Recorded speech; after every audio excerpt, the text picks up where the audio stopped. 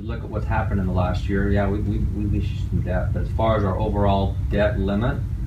the way that it's typically measured is general obligation debt, and we're not even a fraction to the limit of what we could incur from a general ob- obligation debt perspective. To me, the biggest question on the RAP tax on whether you issue bonds or not is whether you're, you know, you're gonna spend about two million dollars, uh, as Bryce mentioned, in interest. And question is, is, is construction interest gonna impact, construction inflation gonna outpace that? I think we've tried to be fairly conservative in only borrowing seventy-five percent of what's available. So that gives you a pretty good cushion, but, but, but whether or not you want to,